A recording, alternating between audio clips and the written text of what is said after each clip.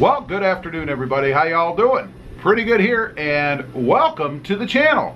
Today I want to get on here and do a little comparison between the 2020 Toyota Tacoma, because that's what I'm looking to get, and the 2019, because that's the most recent information, Honda Ridgeline.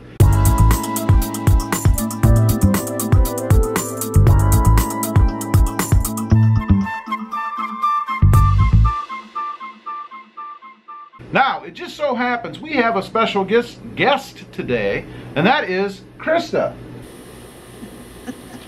She is pro Ridgeline. So what better person to have than a pro Ridgeline person than to discuss this? So we're going to be comparing the two.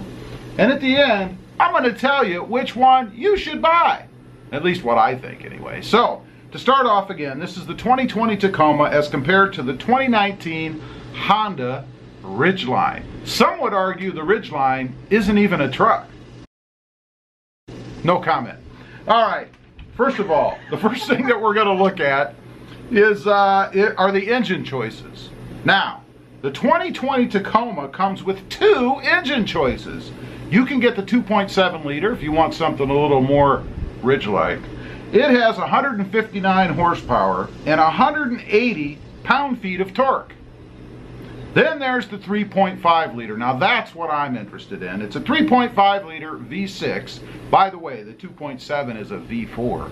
But it's a 3.5 liter V6. It comes with 278 horses and 265 pound-feet of torque. Now, what does the Ridgeline come with? Well, but honey, the Ridgeline has one engine choice. However, it is a 3.5 liter 280 horsepower and has 262 pound-feet of torque. All right, so you might say that they're comparable in the engine department as far as that goes. We all know it depends on the gearing and everything else. Now, next, point number two is towing capability because a lot of people buy a truck, uh, a truck, so that you can tow things. You know, the 2020 Tacoma can tow up to 6,800 pounds. That's 6,800 pounds, depending on upon the configuration you get and how you have it set up. Not too bad. What about the Ridgeline? Well, honey, the Ridgeline can tow up to 5,000 pounds. 5,000 pounds? 5,000 pounds. That's like towing, I don't know, a heavy scooter? I don't know. Next, we're going to talk about tech and connectivity because if you watch the channel, then you know I am big on technology uh, in the truck or in any vehicle really. So, the 2020 Tacoma comes standard across the board with Android Auto and Apple CarPlay. How about the Ridgeline?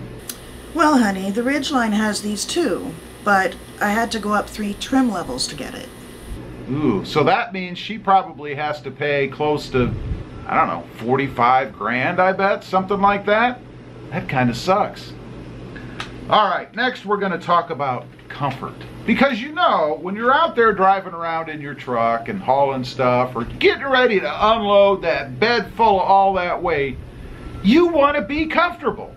Now, the 2020 Toyota Tacoma, and this is new for 2020, comes standard with a 10-way power adjustable seat. You also have adjustable lumbar. You know, so that when you're at the hardware store, loading your stuff, and your back's getting tired, just crank that little thing a little bit or push that button, and you get that lumbar support. What's the Ridgeline offer? Well, the Ridgeline is adjustable six ways, honey. Six ways? Six ways. Let's see. If we go six ways, front, back, up, down, that's four, forward, and backward. That's not very much. I get four more options with the Tacoma and adjustable lumbar support. I like that. All right back to truck things, right? Because we all don't jump in our truck to be comfortable, you know, to take a nap and relax and all that kind of stuff. What's the payload like? What can you put in your bed? Well, the Tacoma will haul up to 1,620 pounds in its bed. That's 1,620 pounds. How about the Ridgeline? Well, the Ridgeline, honey, can haul up to 1,586 pounds in its bed. Well, that sucks. That's not nearly 1,620 pounds. I mean, if you put a couple of big husky guys in there, you know, a couple of 250 pounders, you've already lost 500 pounds of weight. What are you going to haul in there? A bag of dirt? I don't know. All right, let's talk about bed length. Because a lot of people get on and talk about bed length. They talk about wanting the longer beds to be able to haul longer pieces of wood or whatever you might want to put in there. You know, that nice big flat screen TV that, of course, you're going to be needing to haul. The Toyota Tacoma, uh, you can get up to a 73.2 inch long bed. That's not too bad. Not too bad at all. How about the Ridgeline? Honey, the bed length in the Ridgeline is 63.6 inches. That's five foot three. That's shorter than me. That means that you couldn't even fit in that bed.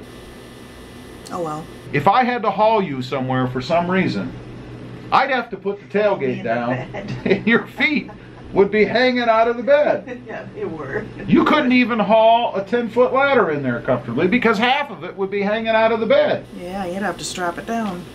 Huh. Well, that kind of sucks.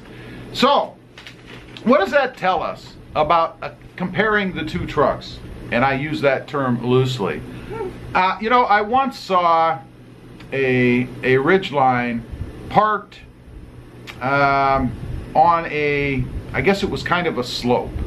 Three wheels were down, one wheel was up. And when I say up, I literally mean up. That thing was so rigid that the right corner, the backside, the passenger side wheel, was just sitting way up in the air. There was no flex. So how do you take the Ridgeline off road? I mean, let's say that someday she's out there running around mall crawling and there's a big pothole or something. I guess the one thing you don't have to worry about is when your wheels dip down, that rear wheel's not going to get damaged because it's just going to float over that pothole. I don't know. I've actually seen this. It's the craziest thing. Now, as far as off road capability goes, everybody knows that the Tacoma is better. The Tacoma is number one off road.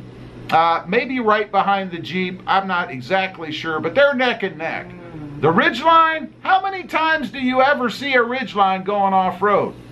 You ever taken a Ridgeline off road? God, no. No? No. No. Have you ever taken anything off road? Not yet, but, Ah. I'm, uh, but I'm going to. You see, there, that's my point already. Ridgeline people don't even know what they're talking about. Anyway, I just wanted to get on here, talk about that a little bit. I thought it was kind of interesting. There are some comparisons out there between the Tacoma and the Ridgeline. and I suppose if all you're going to do is is do a little weekend warrior and you know go to Lowe's and pick up a bag of potting soil or maybe a little mulch, mulch, What bag? one bag, then you might be okay. But otherwise, if you're looking for a real truck, a truck that has real capability, towing capability, payload capability, and off road capability, I'd suggest that you look at the Toyota Tacoma. As far as mileage, we'll throw this in at the end. You know, the thing that nobody wants to talk about, but everybody does. They are pretty much the same, a mile or two per gallon uh, difference. Uh, one is better in the city and one is better on the freeway, and that's it. Me personally, I would go with the Toyota Tacoma. Have I changed your mind? Um, She says yes.